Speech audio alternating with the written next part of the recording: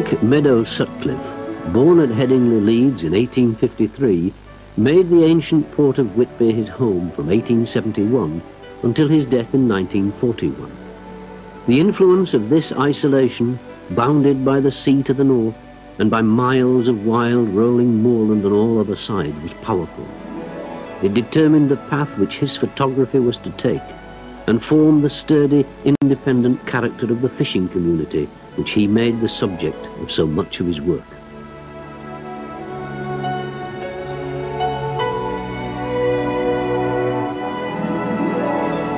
To him, the most mundane scenes of everyday life and everyday people held a mysterious magic, an ethereal beauty. He would write, the beauty of a subject depends more on the condition under which it is seen than the material of which it is composed.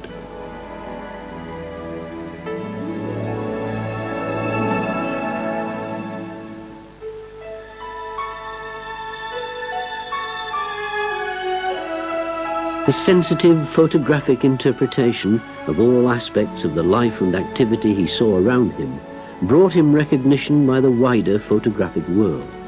It culminated in the honorary fellowship of the Royal Photographic Society being bestowed on him in 1935.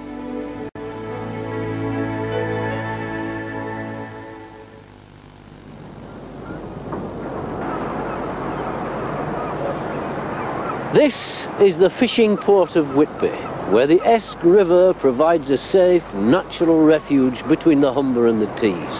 From here, for well over a thousand years, men have sailed out into the North Sea and beyond. On this rugged cliff top, on the site of the old abbey, Caedmon, an illiterate herdsman, created the earliest known piece of English poetry. And it was here in Whitby, just over a century ago, that Frank Meadow Sutcliffe was to turn photography into an art.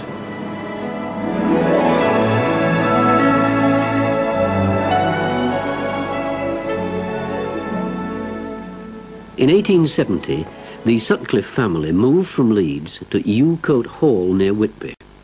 Frank's father, Thomas, was a painter accomplished enough to exhibit at the Royal Academy, but a man who still found time for his family.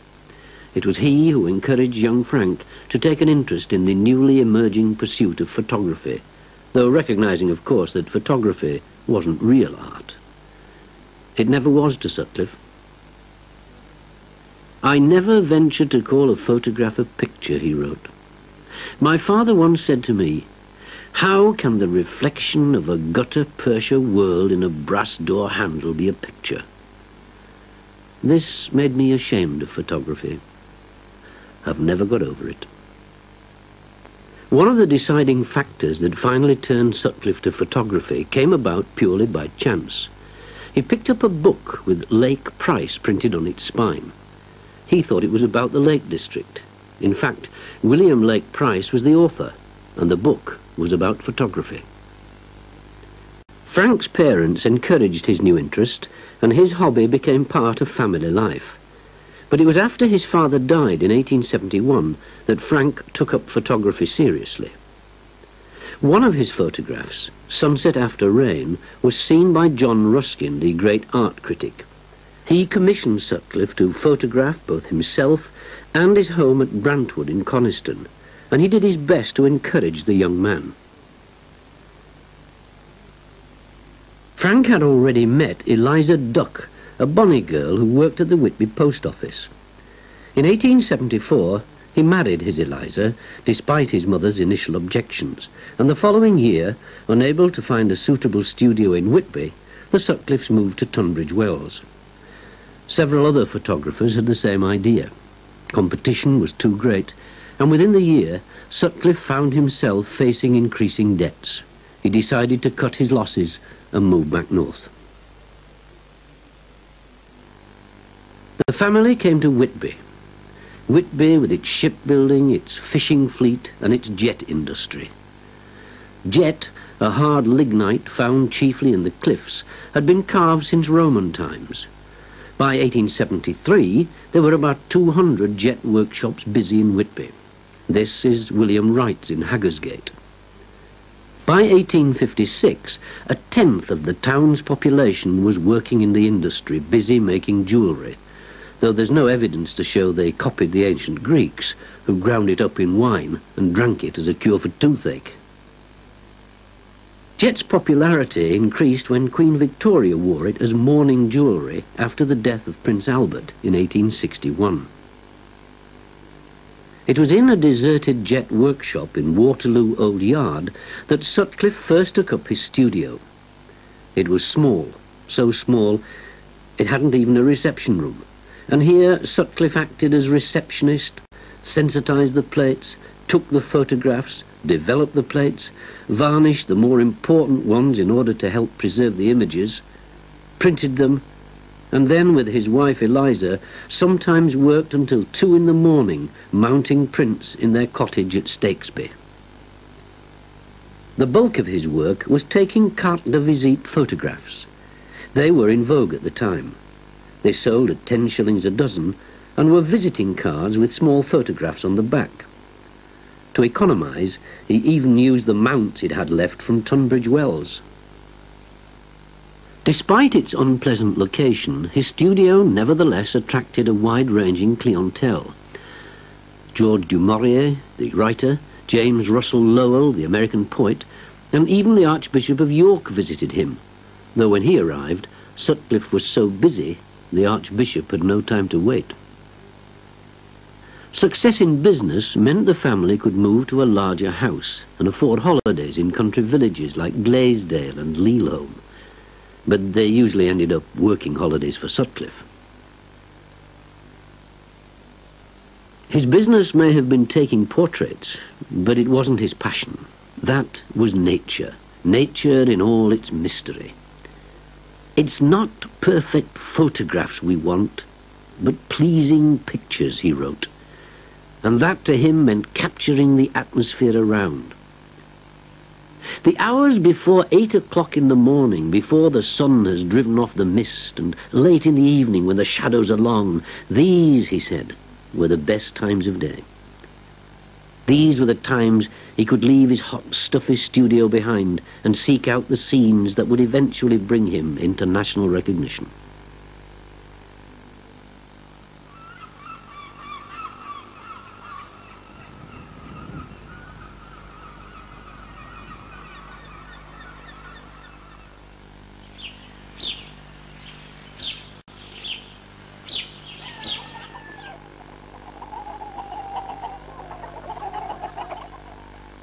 It may have been relatively easy for Sutcliffe working in his studio.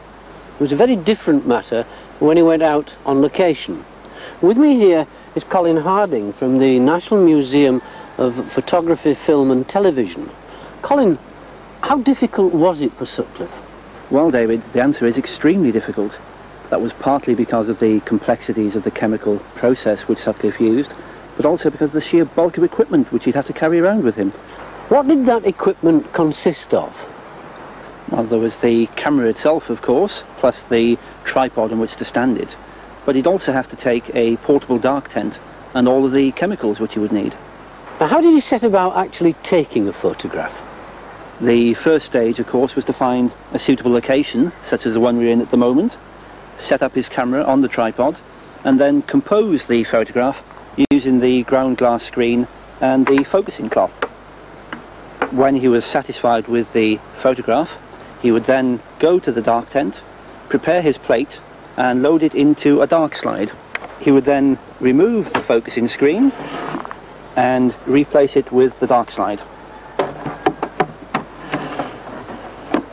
Then, in order to actually take the photograph, he would lift the screen, and to expose the plate, he would remove the lens cap. The exposure would be a matter of seconds, he would count the necessary time and then replace the lens cap. He would then replace the slide and take the dark slide back to his tent, unload the plate and process it. Carrying all that cumbersome apparatus mile after mile in search of subjects, it's little wonder, he remarked, one feels dog-tired by evening. But it was necessary. The summer tourist season was limited. To make a living, Sutcliffe accepted commissions that took him all over Eskdale, and these he supplemented by selling the landscapes and scenes of everyday life that would eventually become his hallmark. Worthwhile it may have been, but at times it certainly wasn't easy. October 1885. The brig Mary Agnes, bound to Newcastle from London, caught in a north-easterly gale off the Whitby coast. Sutcliffe describes exactly how he struggled to take the shot. The wind was so strong it was impossible to walk. All one could do was to crawl on all fours. If it hadn't been for the help of a big, heavy soldier who curled himself under the tripod and held on with both hands, it would have been impossible to have done anything. Other pictures were easier to take. But it wasn't simply a question of finding a subject and photographing it. Sutcliffe realized the need for composition. He positioned his subjects carefully, achieving a good visual balance, but he always allowed them to find a natural pose before taking the picture. Here Sutcliffe spotted the Coulson family on the quayside, the fisherman father arriving home with a catch of plaice.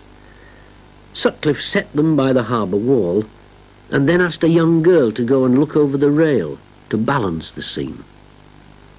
Saturday afternoon, as this picture was titled, would go on to win Sutcliffe the Photographic Society's medal in 1889. It was here in Whitby James Cook learned his craft as a seaman and it was in converted flat-bottomed Whitby-built cats, the Endeavour and Resolution, that he sailed on his voyages of exploration. Whitby cats like this were often used for carrying coal. In 1880, Sutcliffe was to take Dock End, the best-selling of all his photographs. On the right, you can see the sloop the Alert, built in 1802 at the Langbourne shipyard in Whitby. By the time Sutcliffe captured it, it was owned by Anthony Jackson and Edward Barker, and by then it had been converted into a schooner. Over on the left are the Lively, the Sarah and the Hopewell. Before them are some typical Whitby cobbles with their cocoa-coloured sails. It's the harbour that's the very heart of Whitby, and it was here Sutcliffe returned time and again to find subjects for his camera. The upper harbour near Dock End, filled with cobbles and brigs. A topsail schooner moored at the wooden quay, there in the distance are herring mules and fishing cobbles. Penzance luggers in the upper harbour, one man who knew the harbour well is Tom Page. Tom, you were born in Whitby in 1911 in a house that overlooked the harbour and one that Sutcliffe actually photographed, weren't you? That's right, number 7 Tin Ghaut. Where exactly was Tin Ghaut? Well, it was over there. Uh, where that red notice is on the wall, the entrance to it was uh, Grape Lane, which was the right of them two white houses. What was it like living in a house on the side of the harbour? It was all right. Uh, we used to get flooded at times when the spring tides was. The furniture was nailed down in the kitchen. It was wooden, a wooden settee we had. And uh, when the spring tide come, the water would just come up through the floor. Of course, you must have had some fun when you were lads there. Oh, aye, plenty of fun. There was six of us, and uh, one of the things we used to do was fishing off the balcony. You actually fished off the balcony? That's right, we did. The kitchen window faced onto the balcony, and the window would be open, and one or two of us would be fishing, and we used to catch fish called billets, and pennocks, and dabs. And as we caught them, we passed through the window and they were put in the frying pan. And of course, fishing was the major industry when you were a lad in Whitby, wasn't it? Oh yes, very busy. the uh, Scotch boats used to come down, chasing the herring down the North Sea. And uh, they would start off, of course, up Aberdeen way, and as the year progressed, the herring came down, and uh, finish up in Whitby, and then the, they would all go on the way down to Yarmouth, places like that. So the harbour was quite congested then? Oh, yes. When I was a real uh, lad, eight, nine, ten year old, when we lived in Tin Ghaut, the drifters, they used to call them drifters, the boats, the Scotch fishing boats, and they were all coal fired. And it used to be full of smoke and oh, and the stink and everything. Smoke. Smoke in the harbour, mixing with the sea frets of the east coast. Smoke from the steamers. Sutcliffe may not have liked the pollution, but he used these foul emissions to good effect. The Cleveland, manoeuvring an iron steamer through the swing bridge. The paddle steam tug Guide with its tandem funnels. These were the everyday scenes of a bustling, busy port. Up to 1837, whaling had been one of Whitby's major industries. By Sutcliffe's time, it had long gone, and fishing for cod and herring reigned supreme. Each year, the Cornish fleet arrived, the Penzance men as they were known. After fishing for mackerel and pilchard off Cornwall, they sought herring round the coast of Ireland, then sailed through the Caledonian Canal to follow the herring shoals south to Whitby and Scarborough. And following the shoals as they moved south came the Scottish fisher lasses. Dressed in their distinctive woolen jumpers, heavy skirts and oily aprons, they gutted the fish for transporting inland. Some herrings were retained in the town to be smoked into famous Whitby kippers. These scenes of harbour life and the fisher folk there provided Sutcliffe with a rich source of subject matter. But Sutcliffe doesn't use it romantically. He saw fishing as the arduous and demanding life it was, involving the women every bit as much as the men. They played a vital role from collecting driftwood for fuel to rising at two in the morning to see their menfolk off. They made the nets, and skein mussels for bait. Mussels were the favoured bait. These were imported into Whitby from as far away as Morecambe, Boston and Ireland. They were prized open with a knife, skeined or scraped from the shells and soaked in water to increase their size. Flithers or limpets were not as good, but at least they could be collected locally. The women of the family clambered over the wet, slippery rocks of the foreshore between East Pier and the Scar to prize them from the rocks with blunt knives.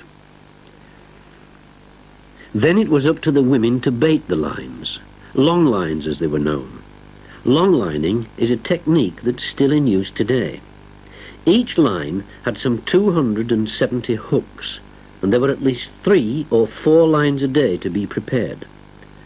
As the hooks were baited, the lines were carefully coiled onto a wicker board known as a swatch or skep. On this the lines would be carried to the boat, occasionally in unusual ways. Then they were ready to be transported to the fishing grounds of the North Sea. The boats that sailed out from the harbour were varied. There were 17-foot-long Whitby cobbles like those in the foreground. These were powered by sail or oar and were clinker-built, as they had been since Viking times.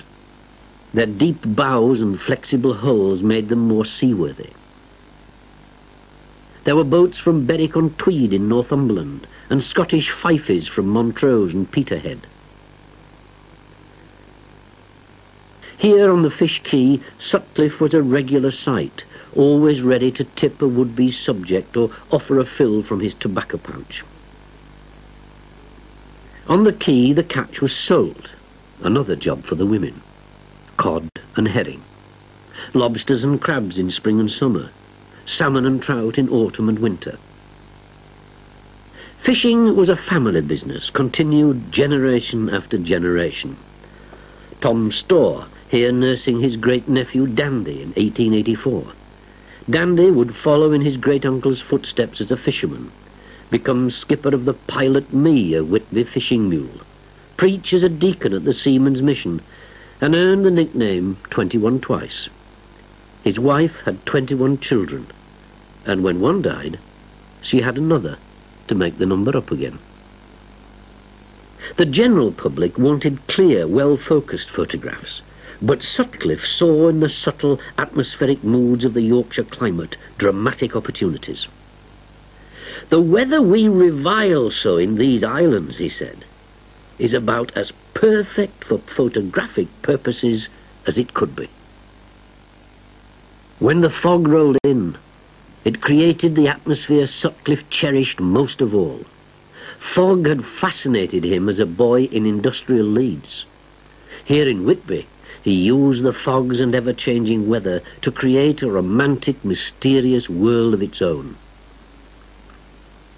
Is it any wonder Bram Stoker chose Whitby to set much of his novel Dracula?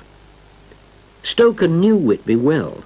He holidayed there in 1890, and legend has it had a crab supper which didn't agree with him, and that induced the dream that gave him the idea for his classic tale. And still fresh in Whitby memory was the Russian schooner Dmitri of Narva being washed ashore on Tate Hill Sands in 1885. Is it just coincidence that the ship Dracula arrived at Whitby in was a Russian schooner, the Demeter of Varna? Water has always had a fascination for boys, and lads fooling about in the harbour was a subject that Sutcliffe was to use time and again. The most well-known of these photographs created both artistic acclaim and moral condemnation. It was the water rats. Sutcliffe spotted three truants playing with a box in the water. He offered to pay them to pose for him. By the time he arrived back with his camera, there were 13 eager lads waiting. The problem was with Will Ross in the soapbox. The lad persisted in looking at the camera. Sutcliffe finally sent his brother Tommy Ross, and all, to fetch young Will out. As Tommy delivered the message and Will began to climb out, Sutcliffe exposed the plate and produced a photograph that would earn him the Photographic Society's medal for 1886 and gave him what is arguably his most famous picture. It was famous enough for the future Edward VII to buy an enlargement of it. Boys gave Sutcliffe another of his most popular works, variously known as Excitement or Scotch Head. It's best known by its more humorous title, Stern realities. Like Water Rats, it was applauded in Britain and overseas and received the ultimate accolade. It was copied by an artist for the Tsar of Russia. What did Whitby boys get up to in Sutcliffe's day? Well, I was a member of the Friendship Rowing Club. There was two rowing clubs in Whitby. The Friendship Rowing Club and the Fisher Lads Rowing Club. And uh, twice a year, Whit Whitsunolidays and Regatta Day, we used to have races. Can you remember any of the lads you used to be in it with you? Oh yes, uh, Joe Howard, who's on that, whose father is on that picture of Sutcliffe's. He's the right-hand fella. Oh, and my brothers were all in it. And uh, Where where did you row? we used to row out the harbour. Oh, as far as Runswick Bay, once or twice we did. And we'll get there, fine day, and sit on the sands for half an hour and come all the way back. Runswick Bay was just one of the outlying villages Sutcliffe visited. Today it's little changed from the village he photographed.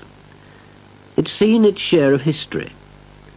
A Roman signal station overlooked the bay from Kettleness Point, and in 1682, as a storm lashed the place, a landslide swept every cottage but one into the sea, without any loss of life.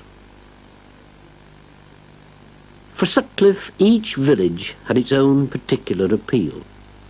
Sandsend, where the sands of Whitby literally end.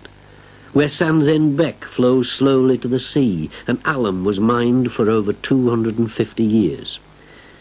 It was used for a variety of purposes, for example, in the making of medicines, matches, textiles and baking powder. The cottages of East Row, seen here, were built to house the employees of the alum works. Saltburn, an Anglo-Saxon settlement 19 miles from Whitby, and the only known photograph Sutcliffe took of the place. And Robin Hood's Bay. According to legend, the place that Robin Hood used as a haven to escape the attention of the Sheriff of Nottingham. Today it's a mecca for artists and holidaymakers alike. Here's a workaday fishing village facing the remorseless North Sea. In fact, those houses on the left of Sutcliffe's photograph have long since disappeared beneath the encroaching waves. Staithes, where young James Cook worked in a local haberdasher come grocer's shop. The tale is still told how he stole a shilling from his employer before enlisting in the Royal Navy. The village lies sheltered between Cowbar Nab and Penny Nab, with the Staithes Beck flowing through it to the sea. In Sutcliffe's day, it was a busy fishing port. He took this photograph about 1912 of Margaret Shorden in the village. Notice the lobster pot behind her. It has its legends of mermaids washed ashore during a terrible storm. It had its superstitions. Mention of a pig before the day's fishing, and the trip was sure to be cancelled. And like many of the other villages along the coast, Staithes knew its share of tragedy. In 1745, the relentless North Sea swept away a row of 13 cottages, including the shop where James Cook had just recently been employed. And this is Margaret Verrill of Staithes, making her way home from the communal bakehouse. She, too, knew tragedy. On the very day she was to marry Billy Unthank, he, along with his father and brother, were drowned at sea. She finally married Thomas Verrill. The Verrill family were well known in Staithes. This is old Isaac Verrill in Sutcliffe's study, retired from the sea. He appeared again with this group of Staithes women. Notice the bonnets they're wearing. Anne Lawson of Staithes has been making bonnets in this style for the last 25 years. Anne, what's so particular about these bonnets? Well, they were used as a working bonnet and they have a double crown, which I can show you on here, because the ladies used to bait the lines for the fishermen on the foreshore, and of course they needed plenty of crown there. I'll put this on my head and show you what I'm talking about. I look old. Um, the brim, of course, just protected them from the sunshine. They carried the basket on this broad bit here, and that was to protect the back of the neck from the again the sun or the weather. And this is whilst they're working outside. And it's to work, yes, because they used to work outside. This now this is a different design, isn't it? This bonnet. Yes, it is. This is a Yorkshire bonnet, and again, it's a different style altogether. The farming people um, used to wear a bonnet as well for haymaking, uh, fruit picking, etc. Mm. And I'm sure this is what this particular one is. Again, it's slightly different.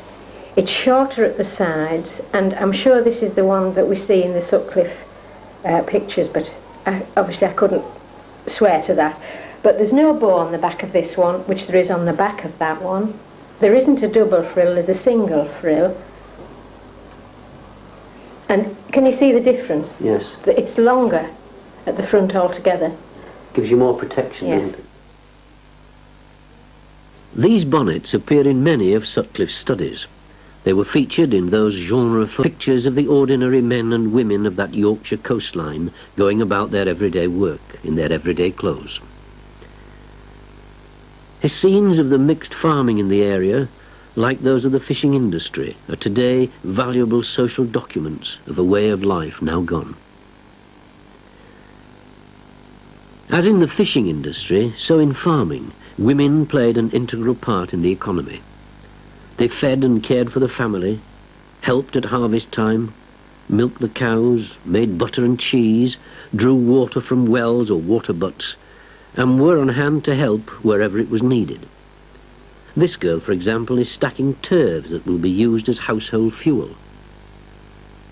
And there were the skills of country life. Ploughing.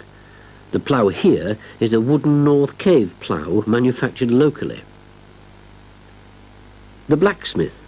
Old John Rogers shoeing a horse at Lealholm Farm.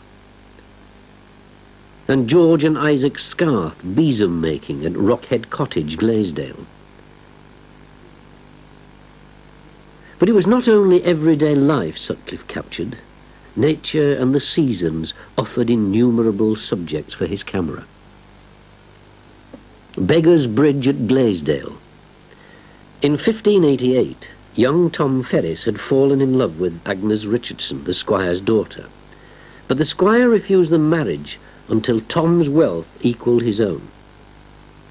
Tom decided to go to sea to make his fortune. The night before he was due to depart, he went to bid adieu to his Agnes, but the Esk River had become a raging torrent, and there was no way across. Bitterly disappointed, Tom sailed away to fight the Armada and find riches and success with Francis Drake. He returned, having fulfilled the squire's demands, and duly married his Agnes. When she died in 1618, he built this bridge as a monument to her, the Beggar's Bridge at Glaisdale. But it was not the romantic that interested Sutcliffe. He was interested in people and capturing them as naturally as possible. He once said, When photographing rustic figures out of doors, I think the best plan is to quietly watch your subjects as they're working or playing. To be able to wait and watch, you'll need a plate that will keep moist at least a quarter of an hour. These plates that Sutcliffe mentions were made of glass, and it was on these that the negative image was formed. Colin, how would Sutcliffe have set about preparing these plates? He would have started off with a totally clear, clean piece of glass. This he would have coated with a substance called collodion. Then he would have taken the plate into his portable dark tent, where he would dip the plate into a bath of silver nitrate. This would make it sensitive to light. This, of course, had to be done in total darkness. He would then load the plate into his dark slide and take it to the camera, load it into the camera ready for the exposure to be made. After having made the exposure, he would then take the plate back into the dark tent where he would have to perform the processing immediately.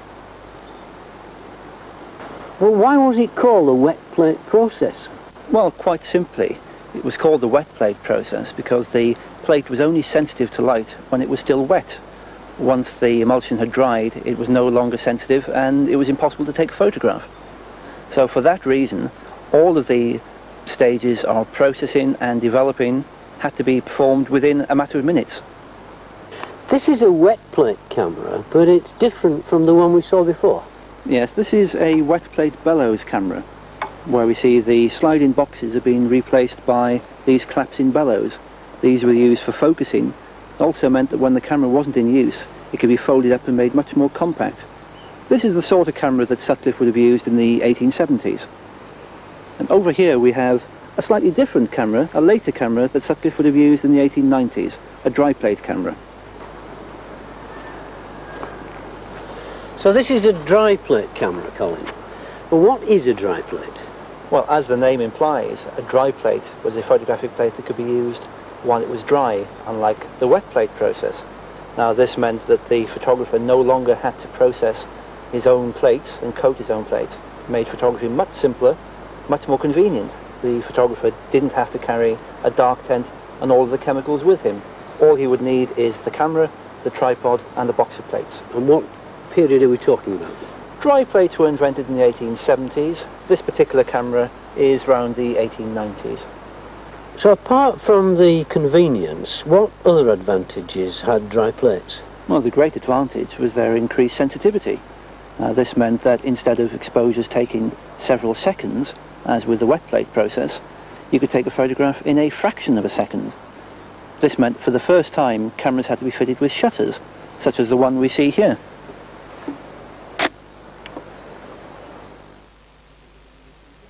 As his business grew, he moved premises to Skinner Street in 1894. Dull, respectable Skinner Street, as one writer described it. The studio had waiting rooms, dressing rooms and apartments for printing and toning, and a system of central heating and air conditioning. A photographer should not be tied to one room and one light. He should have many rooms, where he could make such pictures as his mood felt, he said. By this time the Sutcliffe family had grown. Eliza had borne him four daughters, Kathy, Irene, Zoe and Lulu, and one son, Horace. Horace would tragically die young, denied the career in photography he and his father had planned. Sutcliffe became a highly respected professional, with his portraits and scenes as popular with the public then as they are today.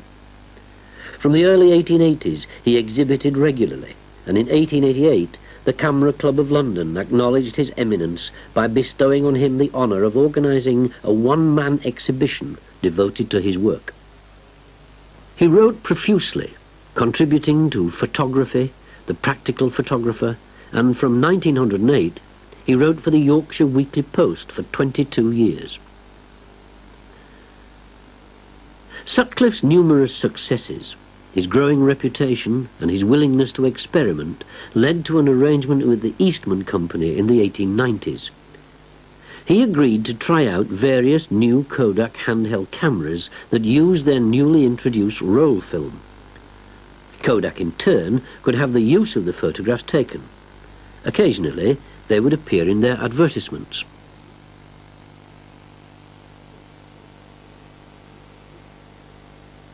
This roll film was coarser than the plates he used. The advantage of the handheld camera was that it enabled photographs to be taken quickly at the critical moment, but it might mean that at times quality had to be sacrificed to capture the event. Here was photojournalism in its infancy. On one occasion, Sutcliffe used this technique to show the launching of the lifeboat.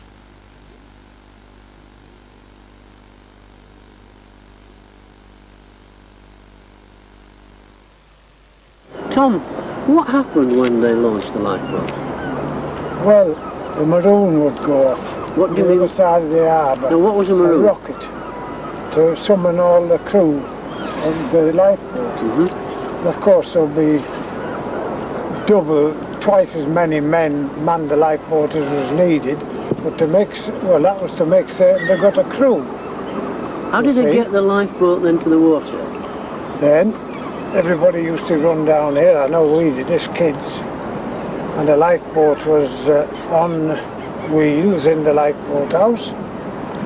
And the wheels were square metal things. You used to go a yard and they'd be flat. And then you go another yard. Mhm. And that, of course, was to break it for going down the hill into the onto the sands. So you pushed it. I pulled it, a lot be behind with ropes holding on, and some be in the front pulling. And we used to get it down the bank onto the sands, and then just pull it right to the water's edge. And uh, the brave lads would go up front dragging it. It was on a, and it would float off onto the water. It was a lifeboat man who'd provided Sutcliffe with his best-known portrait.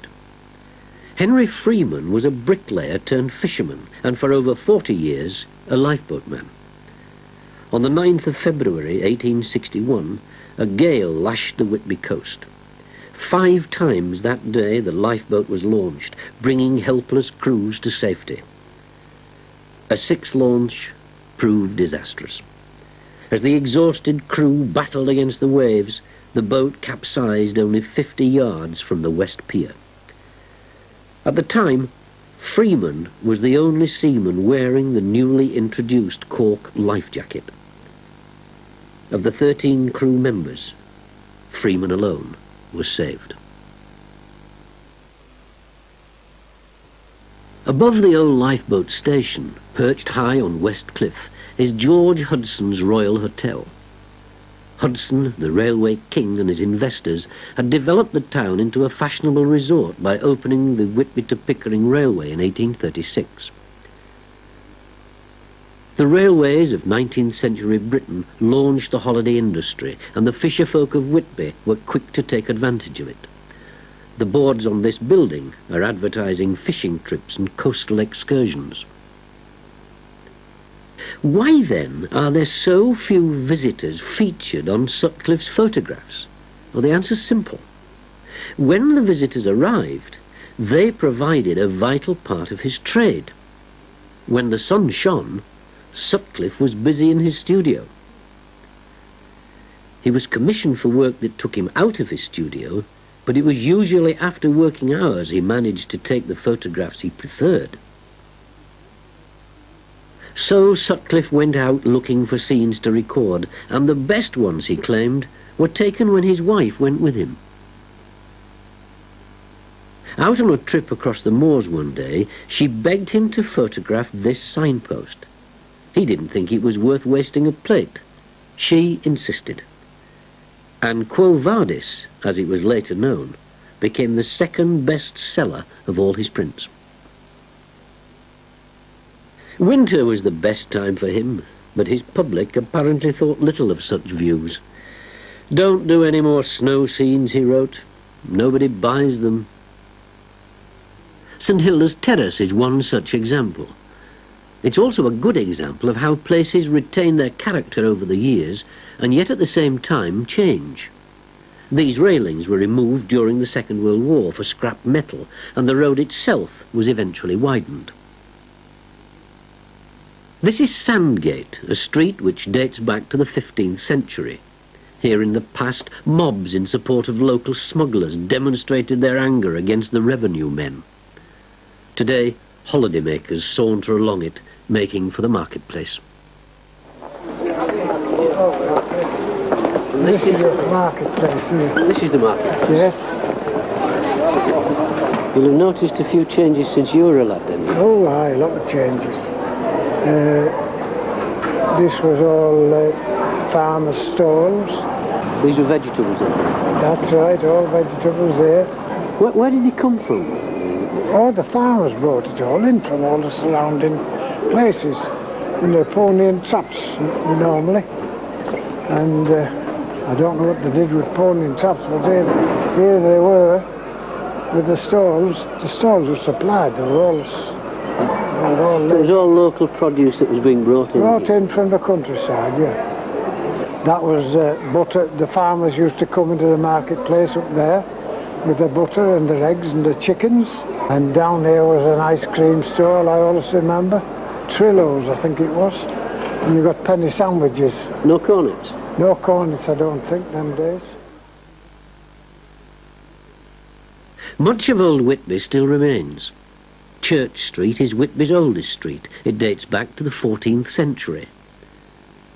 And much has changed. Across the river was Stockton Walk at the junction of Brunswick Street and Flowergate. It was demolished about 1887 and symbolised the changing world whose passing Sutcliffe so mourned. Thousands of little things have been altered, he complained. The photographer's Mecca will be like everywhere else, and photographers will have to find another way to heaven.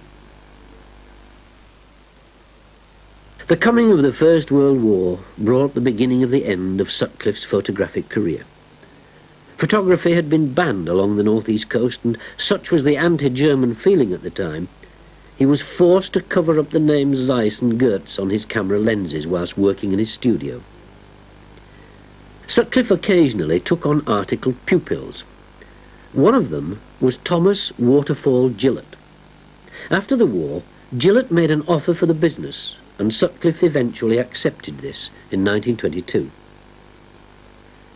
The war had been a sad time personally for the old man. His wife had died in 1915, and his youngest daughter Zoe in a military hospital. So Sutcliffe retired as a professional photographer. And after a whole week of retirement, he commenced a new career at 70 years of age. He became curator of the Whitby Literary and Philosophical Society Museum. Gillett meanwhile continued selling Sutcliffe's photographs along with his own. In 1930, he moved the business to Flowergate, but still trading under the name of Frank M. Sutcliffe. It was around this time that Robert Elliot Pannett, a long-time friend of Sutcliffe's, died. He bequeathed the town a market garden to be converted into this park and enough money to build the art gallery. He and Sutcliffe had often talked about such a project on their trips to the continent.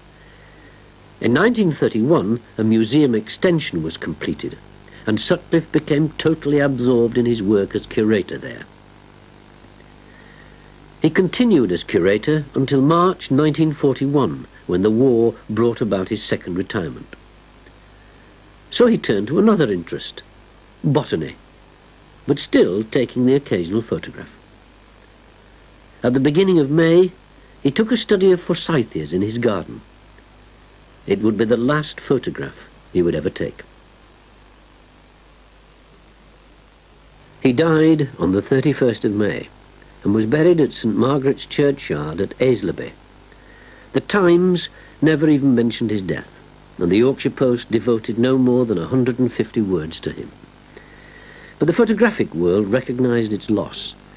The Photographic Journal devoted an entire page to him. The Royal Photographic Society commissioned a special memorial lecture. His photographs continued to be sold, first under Hugh Lambert Smith, who took over the business in 1950, and then by Bill Eglon Shaw, a Loftus photographer who became owner in 1959. But it wasn't until 1965, when Granada Television featured Sutcliffe's work in their film Prospect of Whitby, that a nationwide audience was to see and fully appreciate the quality of his photography. The demand for his photographs slowly snowballed. The business was renamed the Sutcliffe Gallery, and today the work he strove so painstakingly to create commands a worldwide appeal. Bill Shaw's son, Mike, explained Sutcliffe's popularity. Mike, how does this demand compare with the demand in Sutcliffe's day? Well, in Sutcliffe's own day, he was very, very famous within photographic circles, of course. But I think nowadays he's more of a household name and the general public sort of are very much aware of his work. So how far has his reputation spread now? Well, we have customers in uh, Australia, America, New Zealand, Canada, and also Japan. Speaking of Japan, he won a particular award there, didn't he? Yes, that's right. Sutcliffe exhibited a photograph entitled Trees in a Misty Valley in Tokyo and won an award for it. Oh, it's a beautiful picture, isn't it? Did he gain any other awards during his photographic career?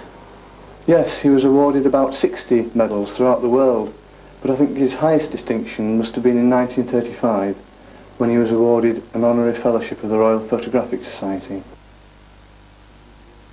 It's little wonder then that Sutcliffe's work is so popular and that Sutcliffe himself is recognised as such a master of the photographic art. The growing demand for his work led to the opening of a new Sutcliffe Gallery, this time in the city of York. It was opened officially by Frank Sutcliffe's grandson, Alan Sutcliffe Druitt, in April 1992. Kathleen Corner, Frank Sutcliffe's niece, who lives in Whitby, has recollections of her famous uncle. Ah, now when we I saw a lot of him, we used to go and see him when he was curator of the museum. At the museum. Yes, now we often went, and his daughter had the butterflies. She had a big, lovely display of butterflies. I think they're still there. What did he... Do you remember him taking you around the museum? Did he... Oh yes, we used to go into the into the back room. You know, he was uh, there as the curator, and he used to talk to us about the museum mostly, not about his own work. Have you taken any photographs, Miss Corner? Me, Yes. We've always liked taking photographs. So it's very much a family tradition. Yes. Anyone who can see can photograph, Sutcliffe claimed. But could just anyone capture the world of Frank Meadow Sutcliffe? A world of idyllic scenes and memorable moments, like the opening of the Swing Bridge in July 1908. And the people who inhabited that world, men at the fish market at Coffee House End, and women like Mrs. Wilson, second on the left, fish stall owner in New Quay, known locally as Nell Bacchus. And children. James Gray, 11 years of age. He would marry and father eight children before perishing in the bloody cataclysm of the First World War. And Lily Jackson. She would marry, and as Lily Stamp would bear a son, Tom. Let him pay the final tribute to Frank Meadow Sutcliffe, the man who gave eternal life to the men and women of Whitby a century ago. The Whitby that has long gone by still lives within your seeing eye, and we who come beyond your time can in imagination climb the narrow streets and cobbled ways, that Whitby of those far-off days. For you have left that all may share photographs beyond compare of bearded patriarchs of the sea and bare-skinned boys who well may be of patriarchal age if they still walk upon life's stage. And bonny fisher lasses too, with many a rare and perfect view of harbour side and abbey plain, of misty coast and country lane, of great shire horses on the land, and countrymen who sturdy stand to look at us across the years with such calm eyes, so free from fears, that now are almost quite unknown. So much the world has lost its own. Yet, so long as beauty shall survive, so long will Sutcliffe be alive.